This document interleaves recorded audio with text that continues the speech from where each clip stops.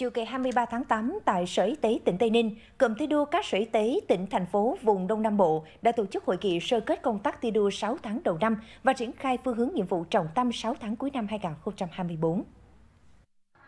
Trong 6 tháng đầu năm 2024, các sở y tế vùng Đông Nam Bộ tiếp tục kiểm soát tốt tình hình dịch bệnh trên địa bàn, không để bùng phát các dịch bệnh nguy hiểm, triển khai hiệu quả kịp thời hoạt động đấu thầu thuốc, vật tư, trang thiết bị y tế theo quy định. Các cơ sở khám chữa bệnh thực hiện tốt công tác trực cấp cứu, khám chữa bệnh cho nhân dân, đặc biệt trong các dịp lễ Tết, đảm bảo đầy đủ thuốc thiết yếu, phục vụ công tác phòng bệnh chữa bệnh cho nhân dân tại các tuyến.